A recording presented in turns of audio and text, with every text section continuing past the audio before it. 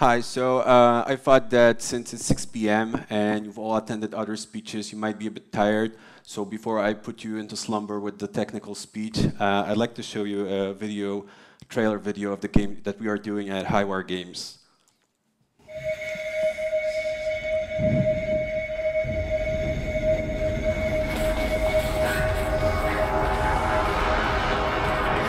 He was trying to lure us into the house.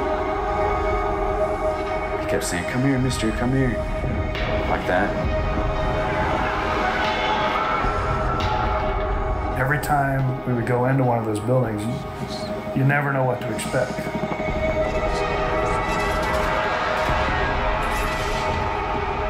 Every day, guys knew the first guy through the door is probably going to die.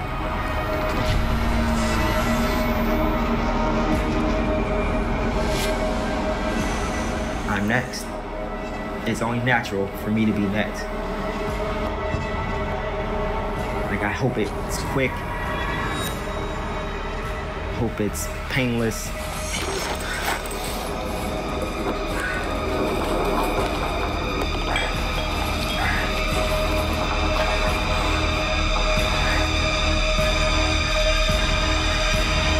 You start to like plan your own death.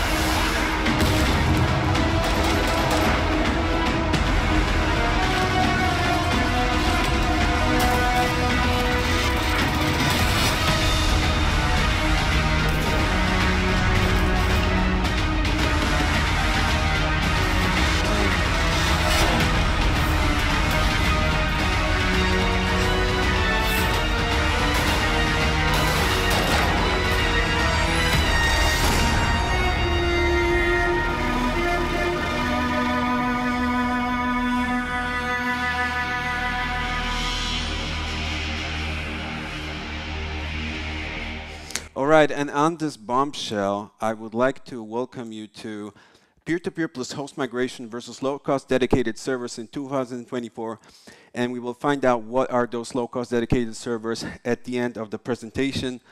Uh, so uh, let me start with a presentation outline because uh, uh, when someone is going to watch this video from the internet, I wanted to make uh, it super easy for that person to find specific information uh, in this presentation. So uh, introduction obvious. We're gonna go for peer-to-peer basics for the people that never did peer-to-peer and don't know what is the industry standard. Uh, after that, we're going to talk about different implementations of peer-to-peer like EOS, WebRTC, etc. And after that, we're going to talk a little bit about host migration and a case study of uh, implementation of host migration in the very late stage of the project and what are the consequences of that. Um, then we're going to talk about alternatives to peer-to-peer. And at the end, we're going to talk about container instances. Um, okay, about me. So uh, six and a half years uh, experience in game development, 10 years experience in software development. I started in virtual reality for industry. Uh, then I went to MPG. And after MPG, I kind of found my harbor in uh, Highwire Games. And we're making this wonderful game you just saw. Okay, so the main motivation for this uh, speech is that um, I've done infrastructure a few times uh, in my in my life, and uh, and uh, I remember when the first time I, I, had to host servers at some place, right? I didn't know what, where, and how, and and when you go to to the large big tech providers, they they don't know anything as well. For example, how to make the regions, etc. Like they're all like, yeah, we're, we're gonna find out. So uh, so I wanted to make a good source of information about this. Um, I wanted to debunk peer-to-peer as cost-effective, and of course share my experiences, so you don't have to make the mistakes I did. Okay, so basic peer-to-peer. So we all know the Unreal listen, ser listen server, right? So you might imagine that it's easy to make a peer-to-peer -peer game because you've got some other guy's IP, right? And you just connect to it. But uh, in the real-life situation, it's not, right? Because there is no such thing as your own private IP, right? I mean, you share the, the uh, output node of your internet service provider. So all of the people in, the, in your apartment block have more or less the same public IP if they use the same public provider. So how do we address those guys? How come when I send a packet to Google, uh, how come Google can respond to me? So basically, when you make an outbound packet, your internet service provider assigns you a temporary port. So that's how, uh, how the, the, the server knows how to reply to you. So you might think that, so we can assign, uh, we can get a temporary uh, port assigned, and maybe we could share that port with another person, because then we've got so-called private IP, right? And uh, this solution is called a stun server. So we've got another server, and uh, Mr. Chicken here, he sends, a, in this case, it's a game, right? So he sends a UDP request uh, to the stun server. Stun server knows in the in the packet header, he knows who sent the IP and from which port it came. So the stun server can share this information with Mr. Dolphin here. And now Mr. Dolphin has the private IP of Mr. Chicken, right? And he can connect. So that's one way of doing it. But um, there is a problem. I don't know if you've done ever web development. There's a thing called uh, cross-origin policy. So basically, you cannot execute, for an example, JavaScript uh, from a different page than you're browsing, right? Because then you could inject code, right? And same thing, same thing here. If your internet service provider would allow people, random people, to address the port that was temporarily assigned to you, it would be super easy to, to hack you, right? Because you could, I mean, I could check that someone, for an example, made a request to Google, and I could send from my PC the contents of the web page, pretending it's Google, right? So most of the internet service provider have so-called restricted NAT. So you can only get a response from the guy whom you addressed in the first place. So how do we solve it? So the only way to solve it is to make a relay server. It's kind of like a proxy server which uh, relays information between uh, two clients. So here we see that peer-to-peer -peer is not like, uh, it's kind of a peer-to-peer -peer because you have like a, a node that connects to uh, two clients. So one of the implementations of uh, peer-to-peer, -peer, which is kind of, it's kind of good, uh, it's called Epic Online Services, and they give you free relay servers. So that, that sounds really cool because, okay, I don't need to manage any infrastructure. I just install the, the Redpoint plugin and, and I have a peer-to-peer -peer game. And they have all those fancy stuff like cross-platform out. Uh, they have the party lobby system, right? Um, and you're basically only missing a matchmaking service to, to make a full game. But there are some cons of this because uh, there are a lot of bugs in, in the Redpoints implementation. So we, we, we've uh, struggled with events that we're supposed to fire not firing. There's no support for, 20, for 27, and um, there's no control over the relay location. So uh, you basically you make a request to relay the peer-to-peer -peer game, and you don't know how it's going to be relayed. So, and, and EOS can be vulnerable because, you know, all peer-to-peer -peer is. And uh, my colleague, Andrew, uh, highlighted this for me. So this is an application called Fiddler. You can just download it. A 10-year-old kid can just download it, double-click, and you can intercept traffic from EOS party system. And as you see, like, all the party data, this is a WebSocket connection. All the party data is kind of written in plain JavaScript. And uh, you might say, okay, but like every JSON, every HTTPS request is written in plain JSON. True, but the thing is that when you're making a peer-to-peer -peer game, someone is kind of authoritative over everything. So if you send data in, in using this channel, it's uh, it's pretty easy to to you know to get some uh, some information like private user data. So EOS can be vulnerable if we if we don't watch carefully what we are sending through it. There's another example of peer-to-peer -peer I really wanted to mention because uh, that's something I saw on Unreal Fest. I never implemented this, but I think it's important.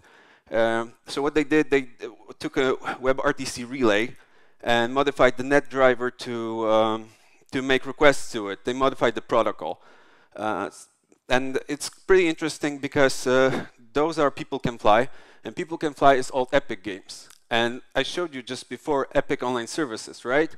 So either they know something that we don't know, or, or, or, or I don't know. So this was, this was really worth uh, mentioning. And uh, did they really achieve a better solution than EOS? Uh, also in my career, I've did self-developed relay, and there was an idea to make a well, sorry, let me catch a breath. there was an idea to make a relay server uh, based on Unreal Engine. So in principle, there, in theory, uh, we could like deserialize data, validate it for anti-cheating, and then you had like a cheat-proof uh, peer-to-peer game. Um, but uh, it kind of ended up burning the money because uh, if you want to have a relay server that deserializes the data, you're going to at least use one CPU to host this relay server, right? And then you have to execute some logic. And, and then you're kind of building a dedicated server. So it, it doesn't really, didn't really make, uh, make much sense. Although I met a guy uh, today on the conference from Pragma. Pragma has some solution like this, but, um, but I still think it's not worth developing. I mean, you're making a very, very complex system here. So if you really want to make your own relay servers, I advise to go on GitHub, grab some proxy, and just modify it a little bit so the server can make the first request, and you can dig out the, the, the server's IP address to, to forward it further, right? Host migration. So uh, along peer-to-peer, -peer, uh, I've been developing host migration. Um, and the problem, you know, game is a product, right? And you expect it to work. And if you don't have host migration and you're working, uh, playing a peer-to-peer -peer game, um, when the host disconnects, um, all the clients get an error, right? So the application malfunctions. The product is, uh, is not good, right?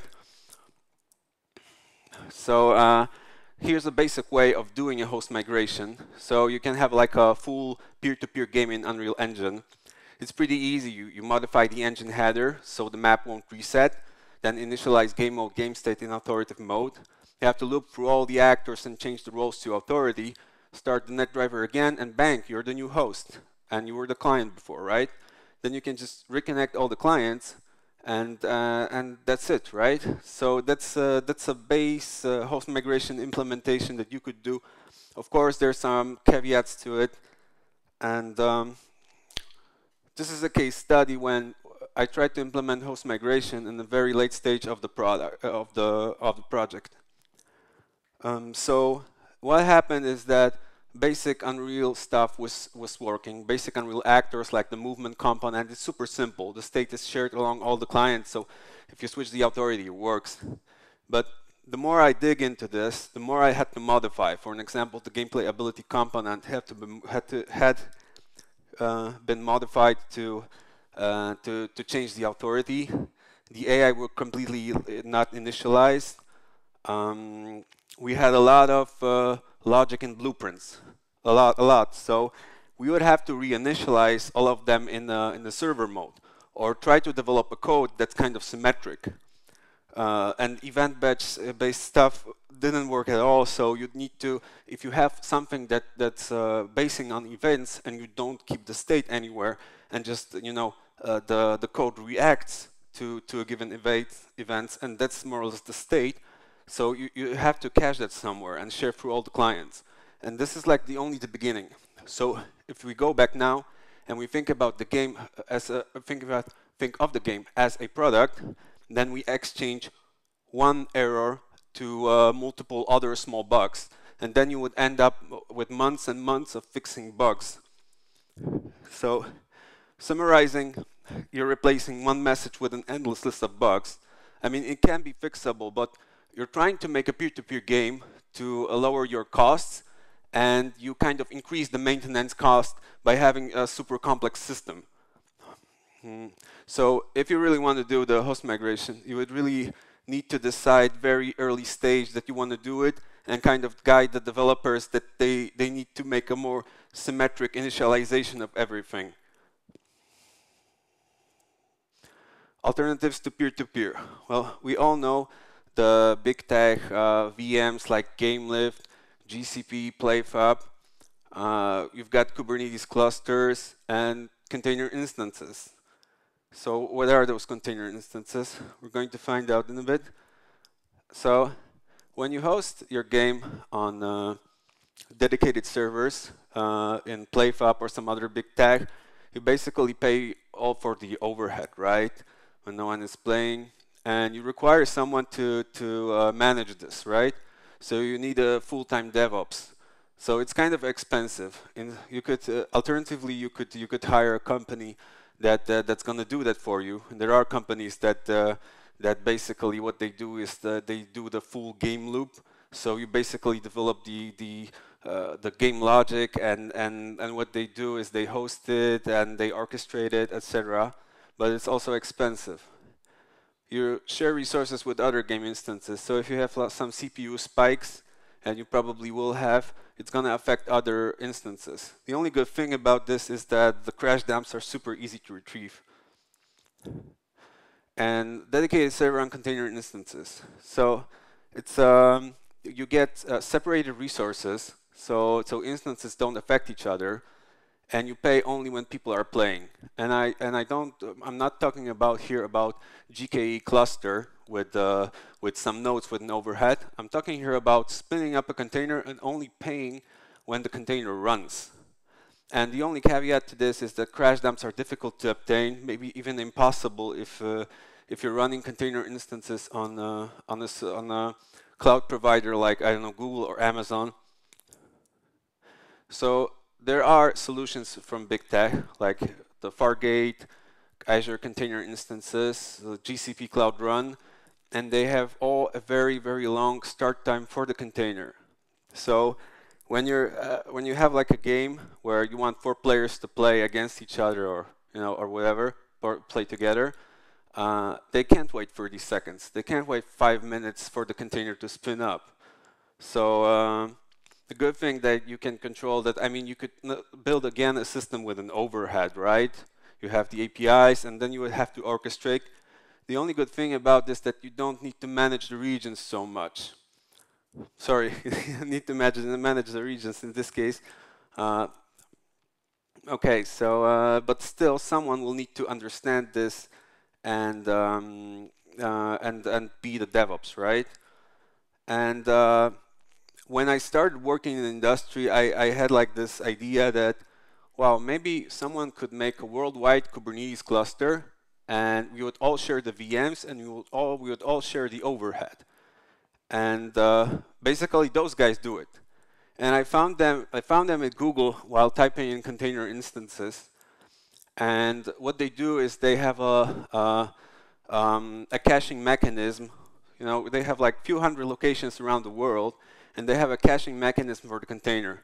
So you upload the image of your game, it gets pulled to all the locations, and the start time of a container is as fast as uh, the start time uh, on your local PC.